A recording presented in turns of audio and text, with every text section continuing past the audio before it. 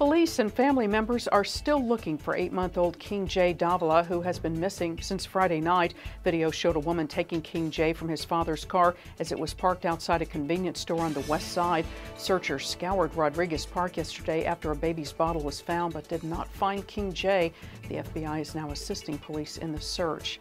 The 86th Texas legislative session begins this week, and Texas doctors have delivered a list of what they'd like to see lawmakers support in order to improve the health of Texans. Their list of recommendations includes streamlining Medicare and Medicaid programs administration and funding treatment for the state's fast growing numbers of uninsured patients.